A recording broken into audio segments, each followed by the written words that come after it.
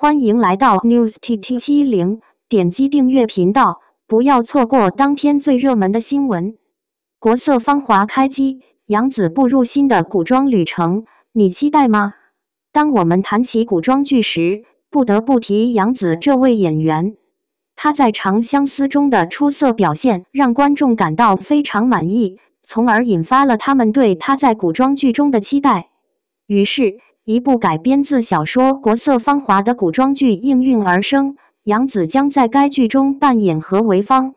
故事背景设定在古代社会，何为芳是商户之女，她通过蒋长阳的帮助摆脱利益交换的婚姻，独自前往京城，逐渐崭露头角，带领一众女性共同经营方圆雨花斋。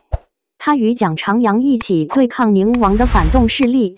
实现了经济实业的转型和保家卫国。为了挑战这个角色，杨紫学习了很多技能。她不仅学习了古装的穿着和妆容技巧，还学习了怎样走路、怎样使用道具和如何与其他演员合作。这一次，她要展示出更加精湛的演技，呈现出何为芳强大的领导力和坚韧不拔的性格。杨紫在采访中表示。对于这个角色，他做了很多准备工作。他认真阅读了原著小说，深度挖掘人物内心的感受和情感。在理解角色后，他开始训练各种技能，以确定何为芳的性格特点和态度。